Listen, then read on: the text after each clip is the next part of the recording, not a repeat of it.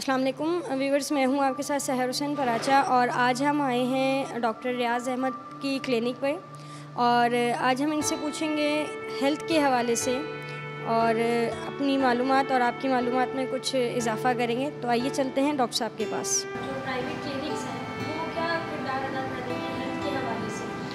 دیکھیں private clinics میں اس وقت جو ہے ایک تو لوٹ مار بہت مچی ہوئی ہے۔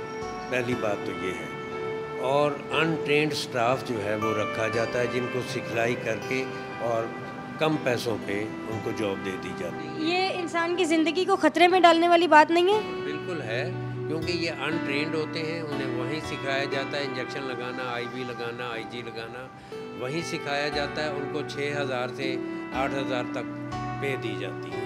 اس کے لیے ایسا ہے کہ ہر ہاسپٹل میں جہاں بھی ہو ہر ڈاکٹر کو یا جو سٹاف ہے اسے اپنا کارڈ اپنے ساتھ رکھنا چاہیے جس میں مینشن ہو کہ وہ ڈاکٹر ہے یا وہ سٹاف ہے۔ اگر اسٹاف ویل ٹرینڈ ہوگا تو وہ ڈیفینیٹلی وہ ان چیزوں کو پراپرلی دیکھے گا۔ بالکل بالکل۔ ویل ٹرینڈ ہوگا اس کے پاس ڈپلوما ہے اور وہ اس کو دیکھ کے اس کی ڈیٹ آف ایکسپائری اور ڈیٹ آف مینوفیکچرنگ دیکھ کے پھر اس کے بعد وہ انجیکشن لگائے گا۔ اور اسے پتہ ہے کہ کتنا ڈائلیوٹ کرنا ہے کس طریقے سے دینا ہے، آئی وی دینا ہے انٹرا مسکولر دینا ہے انٹرا گلوٹیل دینا ہے، کیسے دینا ہے، اس کا روٹ جو ہے، اسے سب پتہ ہوتا ہے۔ جو ان ٹرینڈ پرسنز ہوتے ہیں، انہیں نہ تو روٹ کا پتہ ہوتا ہے، نہ وہ دیکھتے ہیں کہ ایکسپائری ہے یا نہیں ہے، تو اس لیے ان سے غلطیاں ہوتی ڈاکٹر صاحب، ہمیں یہ بتائیے گا کہ آج کل بچوں کے اندر ہم دیکھ رہے ہیں، بڑوں کے اندر بھی دیکھ رہے ہیں کہ پیٹ کے مختلف امراض، بخار، اس کی کیا وجوہات ہیں؟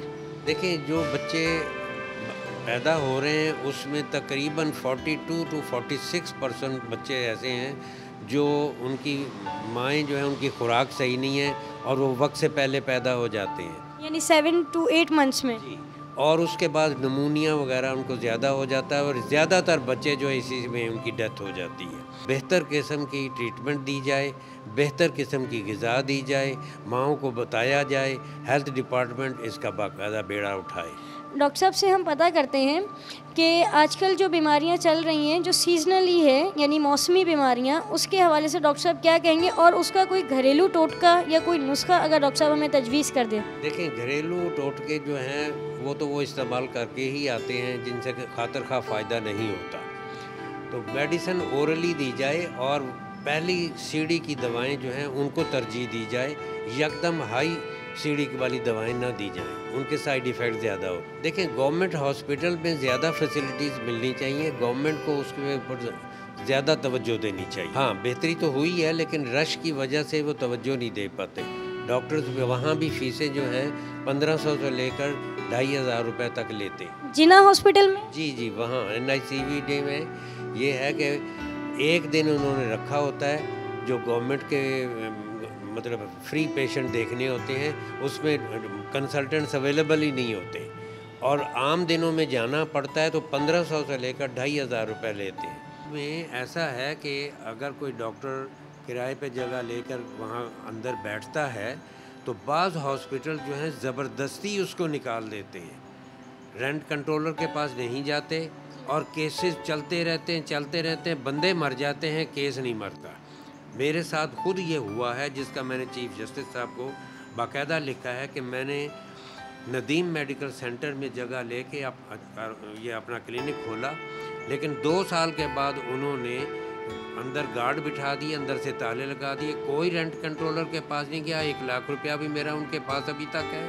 ڈپازٹ اور باقاعدہ میں کرایہ دے رہا ہوں اور کورٹ میں جمع بھی کرا رہا ہوں۔ ڈیفالٹر بھی نہیں ہوں لیکن اس کے باوجود لوور کورٹس میں ہمیں انصاف نہیں مل رہا تاریخ پہ تاریخ تاریخ پہ تاریخ مل رہی ہے۔ کتنے سال ہو گئے آپ کو یہ کلینک چلاتے ہوئے؟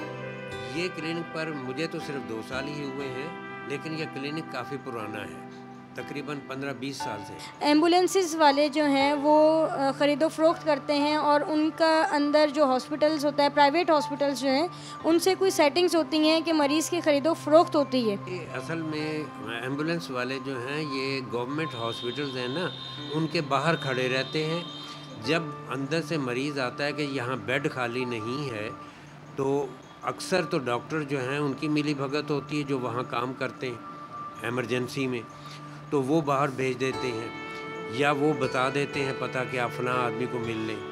دوسری بات یہ ہے کہ ایمبولینس والا جو ہے ان کو بہلا پھسکا کے وہ اپنے پسندیدہ ہاسپٹل میں لے جاتا ہے کہ یہاں آپ کے پیسے بھی کم ہوں گے، توجہ بھی آپ کو ملے گی۔ تو وہاں وہ ہاسپٹل میں جا کے مریض کو بیچ دیتے ہیں۔ اگر آئی سی یو کا پیشنٹ ہے تو دس ہزار روپیہ لے لیا۔ سے دس ہزار روپے صرف وہ مریض کو خریدتے ہیں تو دیٹس مین کہ وہ اس کے بل کے اندر کتنے ایڈیشن کرتے ہوں گے؟ ہاں تو وہ اسی مریض کے بل میں ہی ایڈیشن کر کے وہ نکالتے ہیں پیسے۔ اپنی اپنی جیب سے تو دیتے نہیں ہیں۔ اگر وینٹ کا پیشنٹ ہے تو کم سے کم دس بیس دن تو رہے گا آئی سی یو میں۔ اس کا بل لاکھوں میں بنے گا۔ ابھی چیف جسٹس صاحب نے بارہ ہاسپٹلس پر انہوں نے جا کے سرزنش کی ہے کہ بھیا لاکھوں روپیہ وہ لے رہے ہیں۔ ایک مہینے کا چالیس لاکھ روپے کا پیپر میں آیا کہ اس کا ایک بندے کا بل تھا۔ تو ایک لاکھ روپیہ سے زیادہ تو وہ لے رہے ہیں دن کا۔ جی ویورس آپ نے دیکھا کہ کس طریقے سے ڈاکٹر صاحب نے ہمیں وہ باتیں بتائیں جو شاید آج تک ہمارے علم میں نہیں تھیں۔ اس پروگرام کو کرنے کا مین مقصد ہمارا صرف اتنا سا تھا کہ عوام باشعور ہو جائے۔ جب ہم کسی کلینک میں جاتے ہیں تو ہمیں پتہ ہونا چاہیے کہ یہ ڈاکٹر ڈاکٹر ہے یا نہیں ہے۔ اسی کے ساتھ اپنی میزبان سحر حسین پراچا کو اجازت دیجیے پھر کسی نیکسٹ شو میں آپ سے ملاقات ہوگی۔ اللہ حافظ۔